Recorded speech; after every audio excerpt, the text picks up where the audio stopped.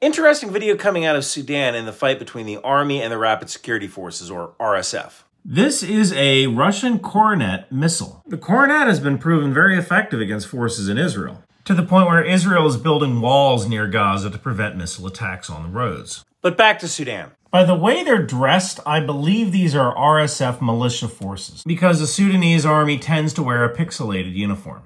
Now, the actual video has this weird strobe effect, but I'm not concerned about the production value here. What I'm interested in is the fighting position. These guys are under good overhead cover. And this overhead cover will protect them from observation and artillery fire. And also look where they are in the room. They are deep in the room inside the shadows. So these guys are following the survivability onion, don't be detected. So I think this particular RSF team knows what they're doing. And one more thing, you want to come meet me in Dallas, Texas on May 20th? I'll be at a fundraising cocktail party and the details are in the pinned comments below.